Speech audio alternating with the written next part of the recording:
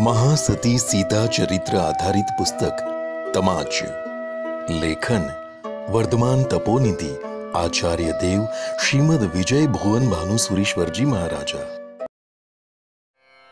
સગા સ્નેહી પર ગાઢ મમતા કરી કરી, એમાં દેવ, ગુરુ, સંઘ, સાધાર્મિક પર મમતા કરવાનું ગુમાવવું એ કેટલી બધી મૂર્ખતા અને મોઢતા છે.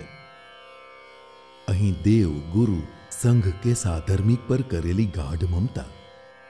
પરભાવે દેવગુરુ સંઘ કે સાધર્મિક મળવાનું નક્કી કરી આપે છે. હવે વિચારો કે આ મળવાનું નક્કી થયું એટલે શું નક્કી થયું?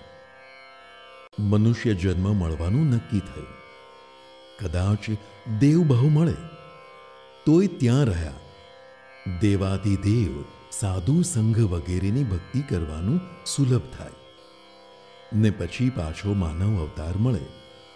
એમાં દેવ, ગુરુ, સંઘ કે સાધર્મિક મળવાનું સુલભ થાય. એટલે સંસાર અરણ્યમાં સગા સ્નેહી ખોવાઈ જવાનો અને એમના સમાચાર કે સરનામું પણ નહીં મળવાનો ખ્યાલ રાખી એમના પરથી મમતા હટાવીને દેવાધિદેવ, સાધુ મહાત્માઓ સંઘ તથા સાધર્મિક પર મમતા જમાવી જોઈએ. દેવ ગુરુ કે સંઘ પર મમતાર્થે શું શું કરવાનું?